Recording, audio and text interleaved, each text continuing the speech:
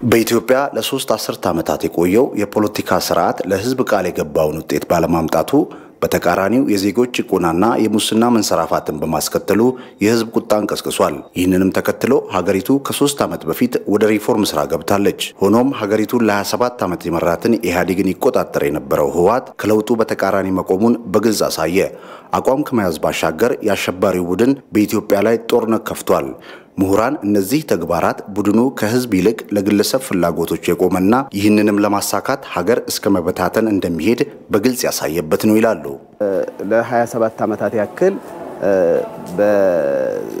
የኢትዮጵያ የፖለቲካ ሁኔታ እጅግ ምስቅልቅሉ የወጣ ሁሉን ያላማከለ እድገትን ያላማከለ ነገር ግን የፖለቲካ ጥቅምን ብቻ መሰረት ያደረገ ነበረ።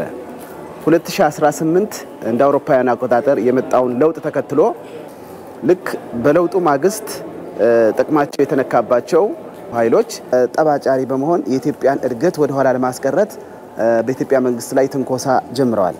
አመራር ተቀይሯል፣ ተቋማት ተቀይሯል።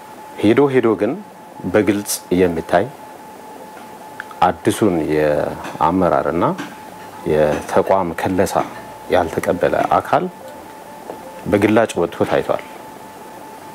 ያም መጀመሪያ ላይ የፖለቲካ መንበረ ስልጣኑን ተቆናጦ የነበረው ኢህአዴግ እዛ ውስጥም ከፍተኛ role አለው ወይም ደግሞ ቀዳሚ ሚና ነበረው ተብሎ የሚታሰብ የህወሓት ነው ወይም TPLF ነው እና ከዚህ አፈንግጦም የወጣውና ወደ ሌላ ሚንስ የገባው ይኸው አካል አሸባሪ አካል ተብሎ እስኪፈረጅ ድረስ ደረሰ ማለት ነው። አሁን ላይ ሀገሪቱ ተገዳ የገባችበትን ህግ የማስከበርና የህልውና ዘመቻ እንደ አጋጣሚ በመጠቀም ምዕራባውያን ለግል ጥቅማቸው ሲሉ ተላላኪ መንግስት ለማንገስ ኢትዮጵያ ላይ ተጽዕኖ በመፍጠር ላይ ናቸውም ይላሉ ምሁራኑ።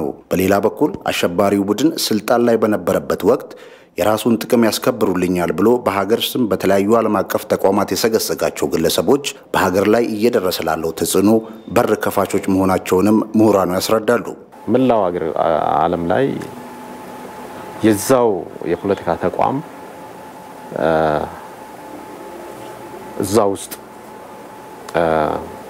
በፖለቲካ በዲፕሎማሲ እና በሌሎች ዘርፎች ስራቸው ሙያቸው የተቃኘ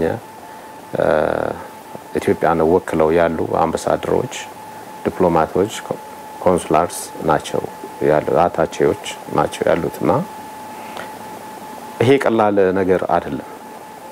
እዛ ጋር ክፍተት ይኖራል ብዬ አስባለሁ። ምዕራባውያን የሚሉት ለአፍሪካ የሚያስፈልገው strong leadership ሳይሆን strong institution ነው ይላሉ። ይሄ ግን ትክክል አይደለም። አፍሪካ ጠንካራ መሪም ጠንካራ institution ም ያስፈልጋታል። እነሱ ጠንካራ መሪ ሀገርን በአጭር ጊዜ ውስጥ ሊያሳድግ የሚችል ጠንካራና ቆራጥ አፍሪካዊ መሪ ማየት አይፈልጉም። ኢትዮጵያ ላይ ሁሉም የውጭ ሀገራት አሁን የተረባረቡበት ለዛ ነው። በአብዛኛው ያደጉ ሀገሮች የራሳቸውን ጥቅም ብቻ መሰረት ባደረገ መንገድ ነው የሚንቀሳቀሱት። ስለዚህ ይሄንን ኢትዮጵያ ውስጥ የፖለቲካ ፍላጎት ያላቸው ኃይሎችን በመደገፍ ኢትዮጵያ እንዳትረጋጋ፣ ሰላም እንዳትሆን እድገታችን በተፈለገው መንገድ እንዳይመጣ ይሰራሉ ማለት ነው። ምሁራኑ እንደሚሉት በሀገራት ደረጃ የሚካሄዱ መሰረታዊ የለውጥ ሂደቶች ውስጥ የተለያዩ መንገራገጮች እንደሚከሰቱና ይህም የለውጥ ሂደት ተፈጥሯዊ ባህሪ መሆኑን ይገልጻሉ። ኢትዮጵያም በመሰል ሂደቶች ውስጥ በመሆኗ ሕዝቦች ያለምንም ውዥንብር ከሀገራቸው ጎን በመቆም ለውጡን ለመቀልበስ የሚመጣውን ኃይል መመከት እንደሚገባ አሳስበዋል። በሕዝብ በኩል ከፍተኛ መደናበርና ተስፋ መቁረጥ እንዳይኖር መናገር እፈልጋለሁ።